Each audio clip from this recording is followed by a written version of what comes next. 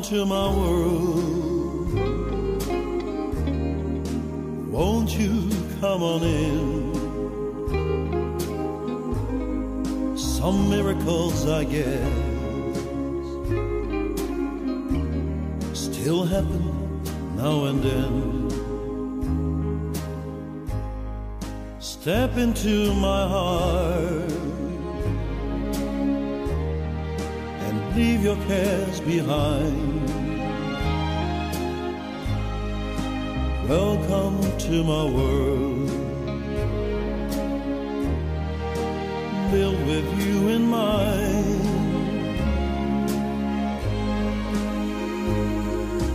Knock and the door will open. Seek and you will find.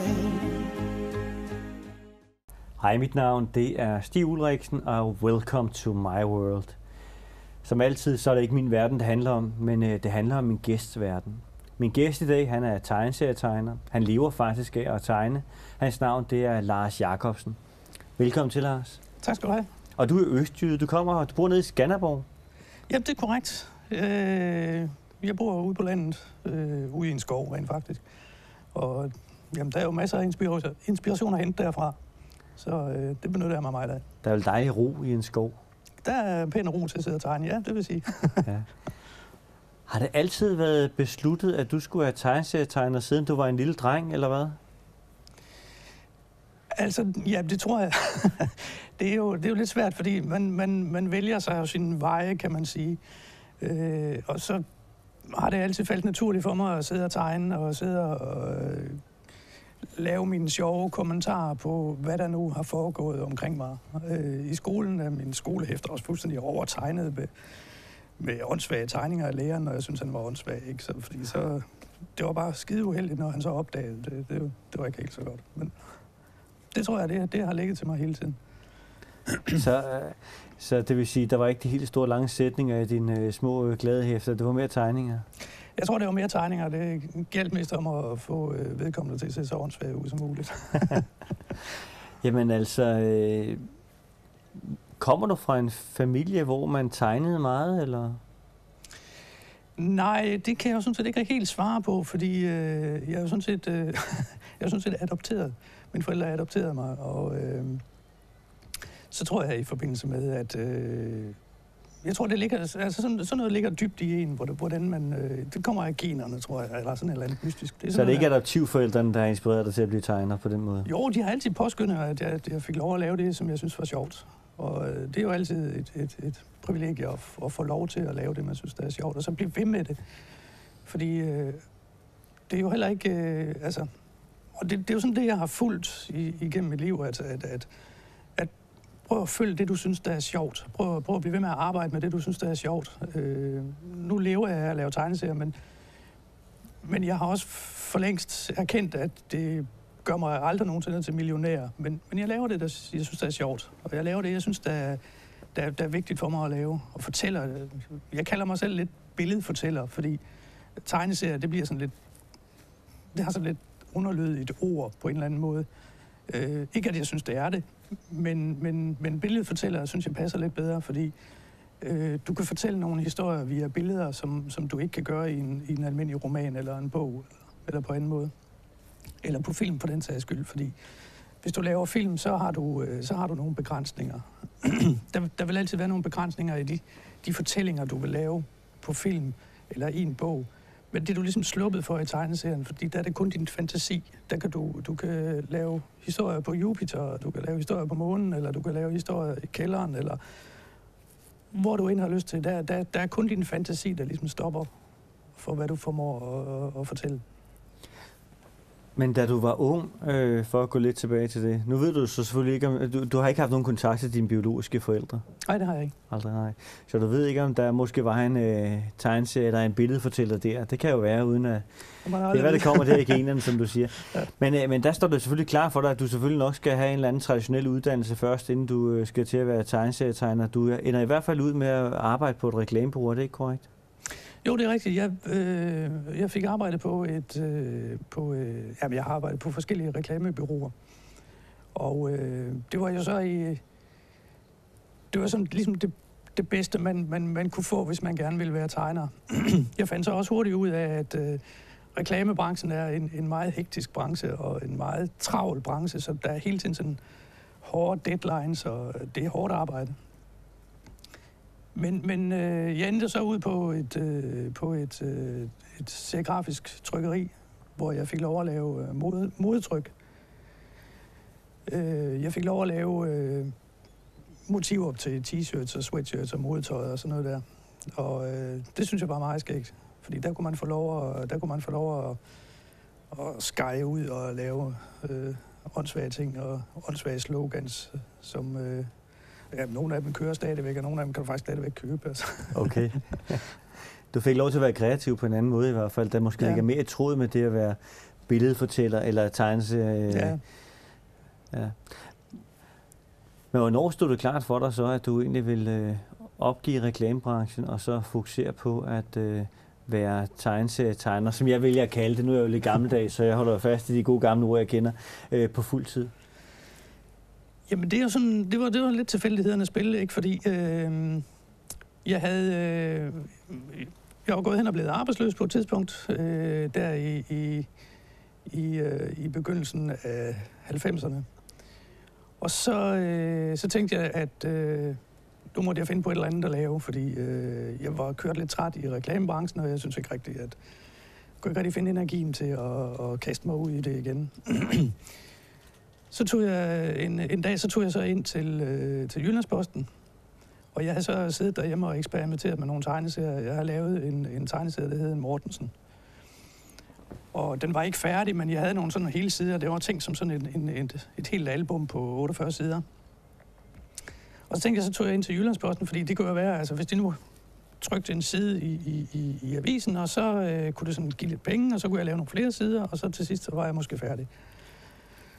Og jeg kom ind, jeg tror det var en tirsdag, jeg kom ind til Jyllandsposten, og så øh, fandt jeg vej ind til øh, søndagsredaktøren, og øh, jeg stod der og pralede med min tegning, og det var, synes, det var helt vildt fedt, og jeg synes det virkelig, de skulle købe den. Og han kunne overhovedet ikke se, at det var morsomt, eller, eller han kunne overhovedet ikke se noget som helst i det, jeg havde lavet. Så, men men så, så fik han alligevel en lille sympati for mig, og så sagde han, jamen, nu er det jo tirsdag, og de havde deadline torsdag kl.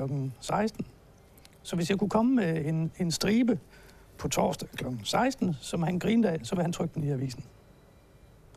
Og det, altså, det kan jeg jo godt se bagefter. Det er jo sådan en måde at lukke munden på folk på, fordi så bliver det sikkert væk. Altså. Jeg tænkte bare, at øh, ah, det, det måtte jeg lige se, om jeg ikke lige kunne øh, lave et mirakel her til på torsdag. Så, så gik jeg hjem, og så øh, kom jeg i tanke om, at den tegnstue, hvor jeg havde været tegnstue leder på, den var ret skræmmende på mange måder, for uforstående i hvert fald. Vi havde sådan en, vi havde sådan en tradition med, at vi, øh, hvis man lavede et eller andet åndssvagt, eller man, hvis man fik lyst til kaffe, eller noget kage, eller et eller andet, så tegnede man en høne på et stykke papir, som gjorde det, man gerne ville, og så krøllede man det sammen, og kastede man det i hovedet på, på øh, en af de andre tegnere. Og så kunne man sidde der i sit arbejde, og pludselig fik man en masse papir i hovedet, fordi nogen skulle have kage eller sådan noget. Og det var alle sammen høns med et eller andet. Så jeg tænkte, at jeg kunne lave noget til, øh, til avisen, som... Øh, jeg kunne altid lave noget med nogle høns, indtil jeg fik en bedre idé. Og Dem så havde du alligevel tegnet så ofte, når du skulle kaste med efter de andre, ikke? Ja, lige præcis. øhm, så jeg tænkte, så, så, så lavede jeg nogle striber. Øh, og så tog jeg ud til, til avisen, og så præsenterede jeg for de striber der, og så griner han af dem. Og så fangede bordet jo, fordi så var han jo nødt til at trykke dem. Øh, og så startede jeg faktisk øh, med at lave tegneserier på det tidspunkt, fordi var i 1990, der startede øh, den tegneserie, som jeg arbejder på stadigvæk, som hedder Ganske Vist, og som handler om nogle høns. Og i dag, der kører den i familie, fast i familiejournalen. Og dengang startede den altså op i Jyllandsposten? Ja, ja, det gjorde den. Så har den så kørt rundt omkring i forskellige tegneserieblade. Den har været trygt i, i Sverige, Tyskland, øh, Litauen, øh, USA, flere forskellige steder. Øh, så den, den har kørt lidt rundt, men, men, men herhjemme, der går den i familiejournalen, og så i Kids News, der gør den hver uge. Og er det dig selv, der sælger den ind til alle de lande, så, eller altså, ligger der en del øh, arbejde der for dig selv, eller er det sådan, at så du samarbejder med øh, PIB for eksempel? Øh, som Ej, jeg, samarbejder med, jeg samarbejder med PIB, ja. som er et pressebyrå, som, øh, som ligesom har salget af at, eller kan, ligesom kan sælge striber til forskellige aviser og, og, og sådan nogle ting. Så, øh, så, så det, det, det lader jeg dem over, ja. om, det stykke arbejde der. Så du kan fokusere på at være kreativ og finde på en ny morsom stribe næste uge? Ja, lige præcis. ja. Men kan man, altså, nu spørger jeg dumt, for jeg ved ikke bedre, kan man leve af at, at, at lave sådan en stribe øh, en gang om ugen? Jeg ved ikke, var Jyllandsposten hver dag, eller var det en gang om ugen, den kom i der så i starten? Det var, også en, øh, det var også en gang om ugen. Ja. Men, men det spørgsmål der, om man kan leve af at lave tegneserier, det har jeg så fået rigtig mange gange. Ja, og du har svaret på det, garanteret. og jeg, jeg har svaret lidt på det, fordi hvis, altså, jeg har for længst erkendt, at jeg bliver ikke millionær af det, men, men, men jeg laver det, jeg synes, det er sjovt. Ja, du kan betale dine regninger. Og jeg kan betale mine regninger. Ja. Det, må være, det, det må være ligesom Alfa det der omega. Og i dag laver du så mange andre ting end blot ganske vist, som vi lige skal have en lille snas. Du vil også lave en tegnefilm, det synes jeg, vi lige skal se her.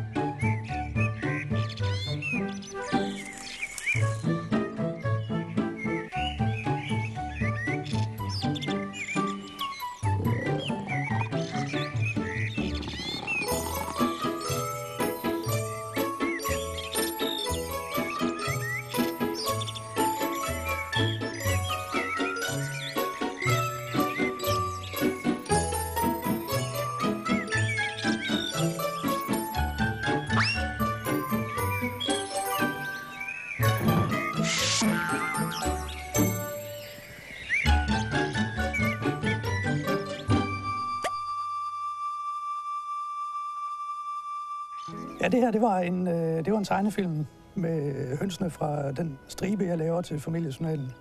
Den øh, var jeg så heldig at sælge til Vestdeutsche Rundfunk, den tyske tv-station. og den, øh, der blev vist øh, to tegnefilm øh, med, med hønsene der i Tyskland. Og det var øh, et, et i bund og grund vanvittigt projekt, fordi øh, da, da, jeg, da, da det lykkedes mig at sælge den til, til tysk tv, så var jeg jo også nødt til at lave det. Øh, og der fandt jeg jo så ud af, at øh, jeg havde lavet nogle, nogle prøver på de der tegnefilm der, og så fandt så ud af, at øh, jamen, der går 12, 12-20 tegninger i sekundet på sådan en tegnefilm. Det er en del. Og de skal alle sammen tegnes, de skal alle sammen farvelægges, de skal alle sammen optages på film, så skal der lægges lyd til, og det skal klippes osv. Så, øh, så jeg var på et tidspunkt op på at tegne 70 tegninger om dagen og det blev simpelthen for meget. Så jeg opgav totalt at lave tegnefilm, og jeg tror ikke, jeg gør det mere. Men du lavede de to film til tysk tv, eller? Jeg lavede de to øh, film til tysk tv, som jeg havde øh, indgået aftale omkring. Det var jeg ligesom nødt Men i dag er det vel noget lettere, altså fordi man kan sige, dengang, der var der med filmkamera, og du skulle sidde og tegne. I dag, der kan man jo få computer til at hjælpe sig med, med tegnefilm. Det håber jeg i hvert fald med alle de tegnefilm, der sendes på tv hele tiden. er det ikke rigtigt? Jo, det er det. det er, men, men, men stadigvæk er det jo et, det er stadigvæk et kæmpe arbejde at lave tegnefilm. Jeg, selvom også, jeg ved godt, man har computer i dag, og man kan lave en masse, man kan springe over en masse handlinger, eller man springe over en masse ting, som, som man så ikke kunne før. Specielt med farvelægningen for eksempel. Den laver man på computer. Det gør jeg også, når jeg laver tegneseriestriben. Den bliver også, den bliver også farvelagt på computer. Og det er, jeg vil ikke sige lettere, men det er, det er lidt hurtigere, øh, og det, det, det gør, at processen er øh, digital fra starten af. Fordi i dag er alting digitalt. Både tryk, metoder og, og, og film og tv. Og... Har du nogensinde taget dig selv i, at du øh, laver en øh, stribe, og så lige pludselig, det her, det synes jeg, jeg skulle have brugt den her før, eller har jeg ikke brugt den her før? ja, masser af gange. Ja.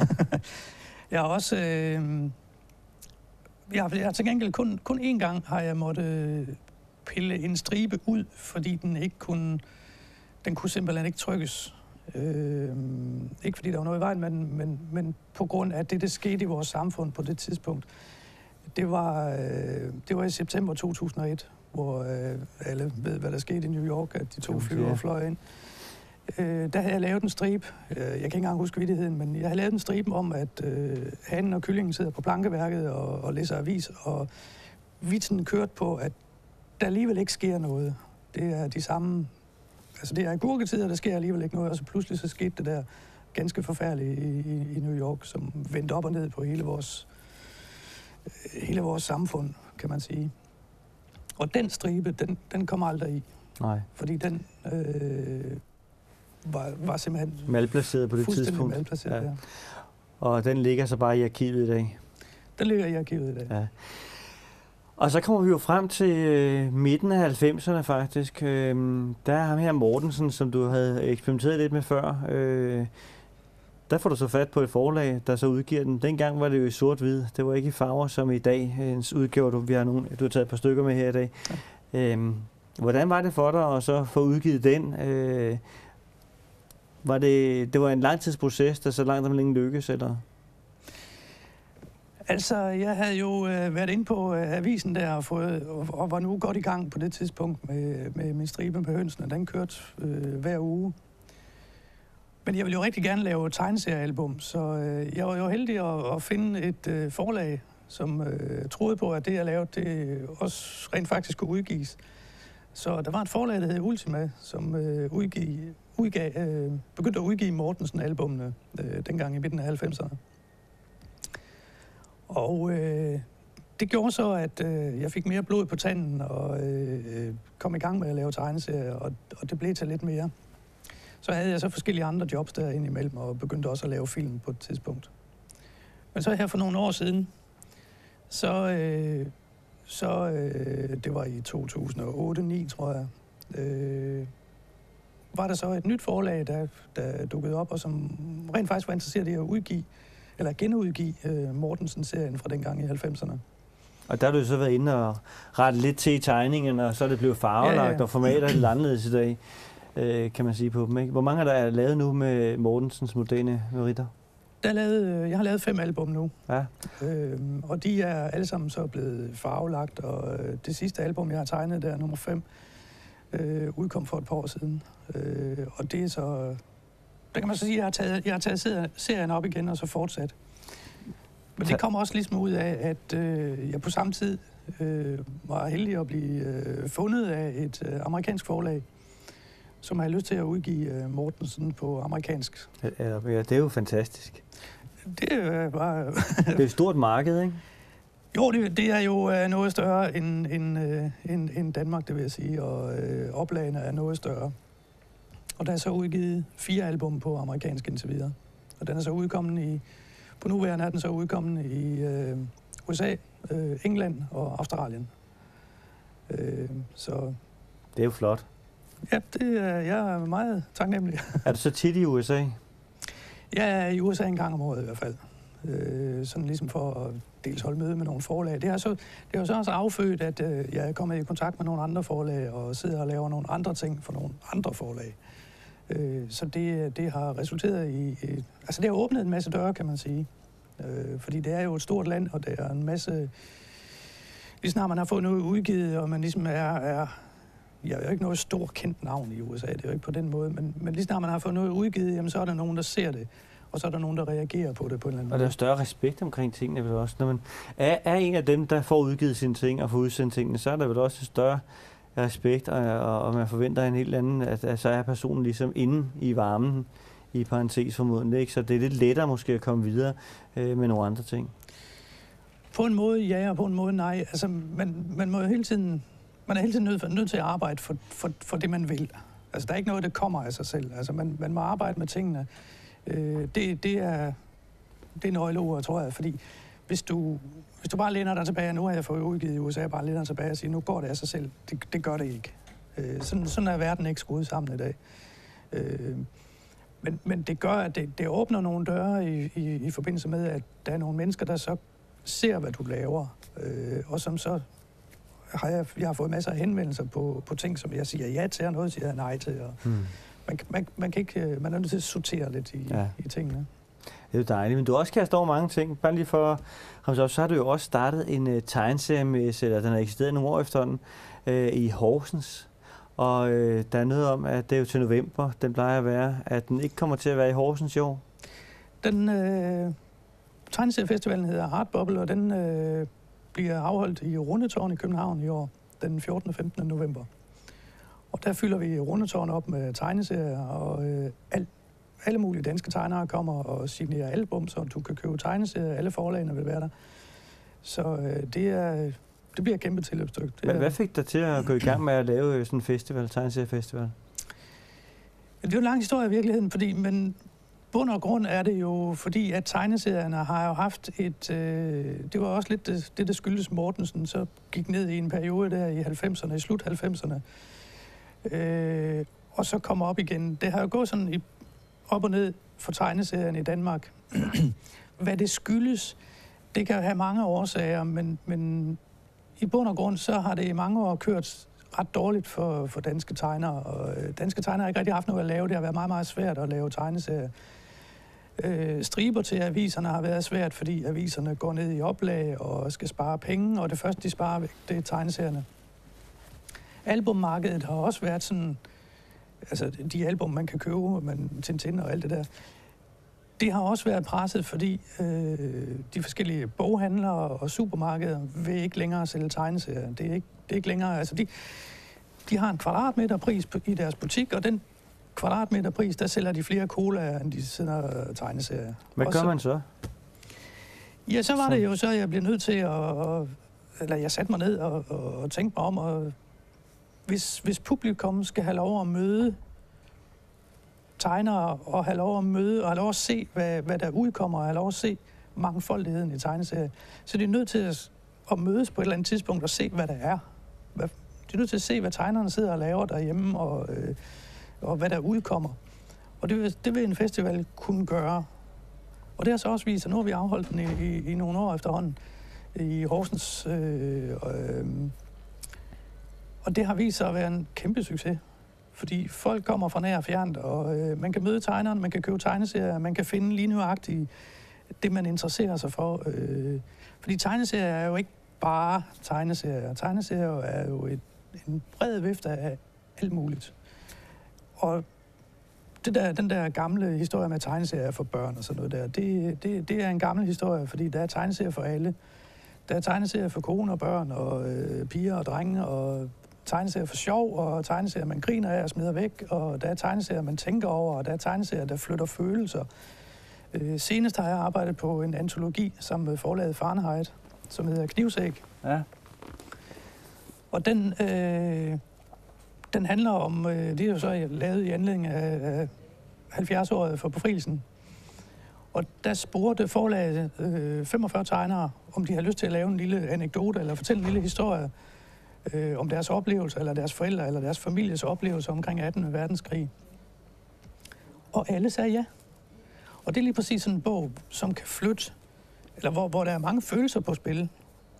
Og det er også en bog, det er også en tegneserie, som øh, har solgt rigtig godt. Den er, den er, på trods af, at den lige er udkommet, har den solgt rigtig godt. Ja.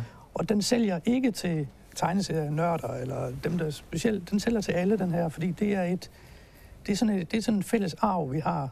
Mm. Øh, det er sådan en fælles arv, alle danskere har, og kan, har en eller anden relation til, eller en moster, eller en faster, eller en onkel, øh, som har en eller anden historie, som vi kan relatere til. Så det, det er en arv, vi bærer rundt på. Og sådan nogle ting kan man præsentere på øh, eksempelvis en festival. Kommer der også udenlandske tegnere øh, til festivalen, eller er det primært danske tegnere, man kommer til at opleve det i Rundtårn? Altså i øh, Rundtårn her 14. og 15. november, der har vi øh, allieret os med øh, øh, verdens største Disney-tegner. Han hedder Don Rosa. Ham kender jeg. Ja. han, øh, han kommer hele weekenden og tegner for publikum. Øh, tegner Anders figurer og unders, eller signerer og, og og hvad man har lyst til. Så ham kan man møde i hvert fald. Og det er jo let for østjyderne at komme over. Det er bare at ind i toget, så kører det jo næsten lige til porten. Det kører næsten lige til rundtårn, ja. ja. ja. det bliver spændende. Du gør jo også meget for egentlig at bevare nogle af vores helt gamle uh, avisstriber. Vi har nogle eksempler liggende her uh, foran os på bordet her. Uh, det er jo noget af et stort arbejde, du har kastet over der, og punkt et, finde alle de her striber, og i det hele taget også få pusset dem op til sådan en udgivelse. Hvorfor har du kastet over det? Det er jo lidt sideløbende med, med, med hensyn til festival og interessen for tegneserier det hele taget, fordi øh, i øjeblikket, hvor, hvor tegneserierne har været nede i sådan en dal, hvor at, øh, det har dels været svært at købe tegneserier, det har været svært at finde ud af, hvor, hvor man kunne orientere sig om, hvad der udkommer. Så har festivalerne været med til at åbne op for, at du kan orientere dig på sådan en festival, hvad, hvad der udkommer af forskellige ting. Og i samme åndedrag, så har der også været en, en interesse for, øh, fordi vi har jo også en tegneserie Arv. Der er jo mange af de gamle klassiske tegneserier, som for eksempel Willy på eventyr, øh, som er en tegneserie, som har øh, løbet, gået i, i familiejournalen i over 50 år, øh, som er stort set glemt i dag. Og den har jeg været med til at samle sammen og genudgive, fordi øh, det er en del af vores tegneserie Arv, den er lige så vigtig som, øh, som øh, alle mulige prosa og digter og øh, Dan Tyrell og alle mulige andre, som man skal læse. Der synes jeg også, man har også en vis forpligtelse til at, at, at kende noget, nogle af sine rødder. Øh, både som læser og som tegner. Øh, fordi mange gange trækker man jo tråde tilbage til øh, en eller anden. Altså man opfinder jo ikke den dybe tallerken hver gang man bygger jo videre på det, som nogen har lavet. Den platform, der engang eksisterer, ja. den hæves lidt op til noget nyt. Ja. ja, sådan det. Hvad hedder det? Hvad er det, tegneserier kan gøre, øh, som andre ting ikke kan gøre? Hvad er det, tegneserier kan give os i forhold til for eksempel en bog eller i forhold til en uh, film? Jamen, tegneserien har jo en, øh, tegneserier har jo en, en, en form, som du kan du kan, du kan sætte dig ind i. Og du kan, der er mange, der siger, at jamen, jeg kan ikke bruge min fantasi, jeg kan ikke selv forestille mig. Nej, men tegneserien hjælper dig. Du kan sagtens bygge videre på det, tegneserien giver dig. Men tegneserien har et univers, som du ikke kan finde andre steder. Det er en fortælleform, som du kan... Jeg vil sige, vi, vi, vi er faktisk bare ved at, øh, at krasse lidt i overfladen, fordi tegneserier kan meget mere, end, end, end det, man viser i dag. Eksempelvis knivsæk, som vi snakkede om lige før øh, er jo mange tegneres personlige følelser, man, man, man får ud øh, i sådan en tegneserie. Og det er jo ikke nødvendigvis for børn. Øh, fordi en af historierne, som, som jeg har lavet, handler om øh, dem, man under krigen kaldte feltmadrasser. Altså piger, som havde haft et forhold til tyske soldater. Og hvor slemt det i grund, altså man kan have sin mening, men, men hvor slemt det i grunden, og hvor ydmygende det i grunden var for de piger, som, som blev offentligt ydmyget på, på gader og stræder øh, efter krigen, da befrielsen kom. Og det er, jo, det er jo sådan nogle ting, som stadigvæk, noget er tabu, og noget snakker man ikke om, og noget er... Øh, øh. men i virkeligheden er det jo noget, tegneserien også kan, at vise sådan nogle ting, sådan i kamufleret form, fordi du er jo selv du er jo ikke ude på at udlevere noget, men du er ude på at udlevere og fortælle historien. Og det er det, jeg mener med billedet fortæller. At du kan selv nuancere billedet og fortælle det vigtige i den der. Når man ser de der dokumentariske udsendelser fra 2. verdenskrig, så er det jo noget med kameraer, der lige og ryster meget og sort-hvid osv. Men tegneserien, der kan du jo gøre begge dele. Du kan lægge farver på, og du kan fortælle, hvad folk tænker inde i hovederne, når de, når de har et eller andet, eller i stressede situationer. Det, mm det er jo det, tegneserien kan. Ja. Vi er kommet frem til vejs ende, Lars. Tusind tak, fordi du gav dig tid til at komme ind og fortælle lidt omkring din tegneserie. Tak, fordi jeg måtte komme. Og dermed er vi nået frem til vejs ende i denne uges Welcome to My World. Tak fordi I kiggede med, og på gensyn i næste uge.